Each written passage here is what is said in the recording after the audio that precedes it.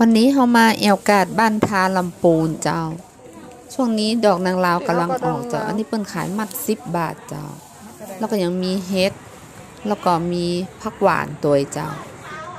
เดี๋ยวเขาจะซื้อไปแกงรวมกันเนอะเจ้า เจ้าวันนี้เขาแกงดอกนางลาวเจ้าใส่เฮ็ดลม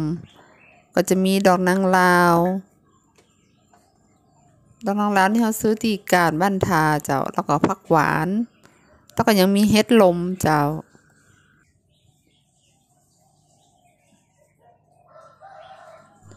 กำเดียวเขาจะไปตำน้ำพริกนะเจ้า ก็จะมีใส่เกลือ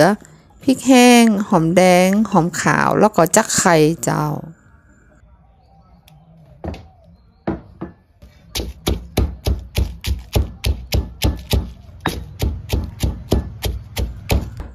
แล้วก็จากนั้นเขาก็ยังจะใส่กะปิ เจ้า แล้วก็ห้า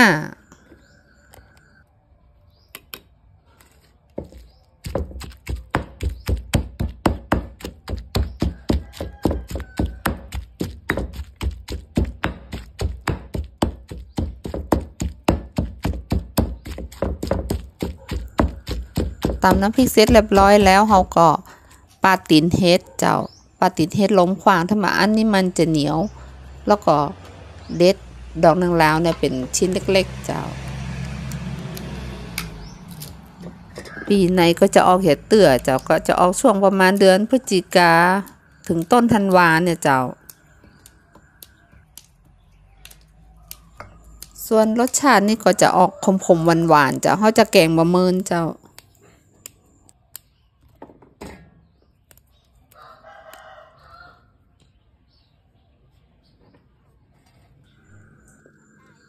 เจ้าแล้วเขาก็ตั้งหม้อแกง เอาน้ำลงใส่แล้วก็เอาพริกลงเจ้า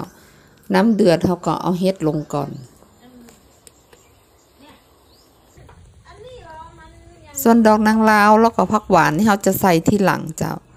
ใส่สักจำลำแล้วเขาก็ปดได้เลยเจ้า